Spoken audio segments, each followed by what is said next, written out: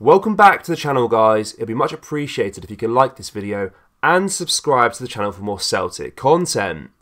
Chris Sutton has stated that Celtic playmaker Matt O'Riley is now the best player in Scotland. On Saturday, Brendan Rodgers' Celtic saw off 10 men Ross County, with a number of key players benched and rested for the trip to Madrid to take on Diego Simeone's Atletico in the Champions League.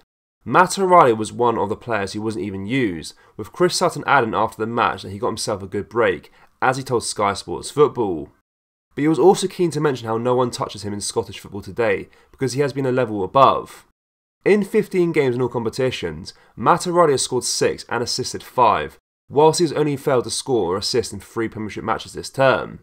The rising Danish star has been at the heart of the action for a Celtic side who are still unbeaten, and as Chris Sutton put it, 8 points clear of second place Rangers. Matt O'Riley has probably been the best player in Scotland this season, getting a good break, said Sutton. And it's about coming to get the three points. I think that was always going to be the case. In terms of when Ross County went down to 10 men, it was a good afternoon, 8 points clear now. On one hand, the better Matt O'Riley performs, the more valuable it will be for the team, and the aim to rack up the trophies again this season and these coming years. It's not just on the domestic scene where he's starting to talk, because he's now proven himself on the European stage also. The only issue with this is when it starts to attract those with big money across Europe, especially in the Premier League. You would hope that doesn't happen anytime soon, because someone like O'Riley is key to Celtic making those progressive steps in Europe during these coming years.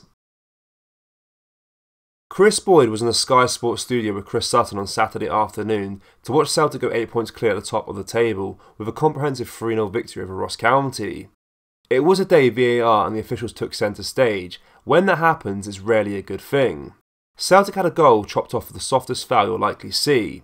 However, not even that was the biggest controversy of the day. Celtic had another goal chopped off in the first half of the most marginal of offside decisions. Celtic fans bemoaned the angle of the camera for the decision. However, it came to light at half time that the VAR official Andrew Dallas had used the wrong frame to call the goal offside. He had used a frame from after the ball had been hit, instead of the exact moment the ball was hit, as per the rules of the game. When this was initially brought to the attention of both Chris Sutton and Kris Boyd in the studio, instead of concern that VAR made a slip up, Kris Boyd started rambling about the polls and X being made up tonight and conspiracy theories. It was a rather bizarre bit of TV and shows how inept the guy is and how bitter he can be. Instead of just saying the referees need the right tools and the right information to make the calls correctly, he starts trying to negate a potential backlash to the error by attempting to ridicule anyone who wants a decision an error looked at. The decision may well have been offside, but why is a pundit actually trying to shrug off a potential huge error? Celtic fans, what do you make of the standard of refereeing in Scotland at the moment? Let me know down in the comment section below. That brings us to the end of today's video guys. Make sure you drop a like on this video and subscribe to the channel for more Celtic content. Thank you, take care, bye bye.